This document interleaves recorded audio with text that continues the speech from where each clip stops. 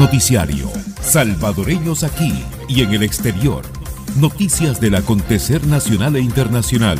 Un periodismo pluralista con Rodolfo Aguirre. Qué bueno que se informe a través de vivencias musicales en esta alianza informativa con News 24-7. Gracias, muchas gracias a los que nos escuchan en los Estados Unidos y Canadá de forma especial como en nuestro país El Salvador. Rodolfo Aguirre presenta titulares. Lluvias causan inundaciones en diferentes puntos del país. Gabinete de Seguridad presenta solicitud de prórroga de régimen de excepción por 30 días más.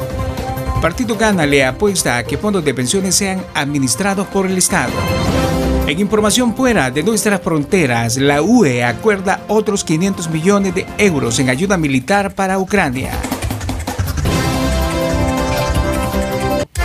Gabinete de Seguridad presenta solicitud de prórroga de régimen de excepción por 30 días más.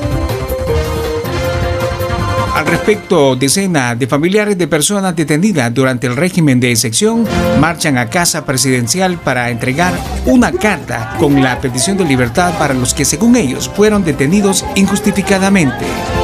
Mientras tanto, diputado Romeo Auerbach de Ghana apoya que los fondos de pensiones los administre el Estado. En el, grupo parlamentario de Ghana, eh, en, esta, en este nuevo proyecto que estamos esperando, que lo está trabajando el Ejecutivo y que se supone que está casi terminado, nosotros esperaríamos que ya no esté contemplado que empresas privadas manejen nuestros fondos de pensiones. Creo yo que no, no es lo correcto ni lo justo de que existan dos empresas, hoy por hoy vea, existen dos empresas privadas que manejan nuestros fondos de pensiones.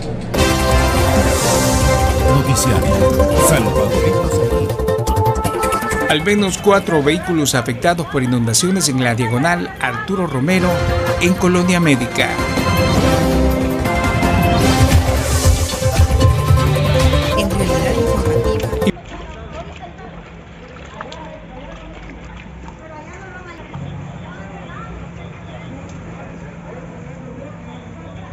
Información internacional.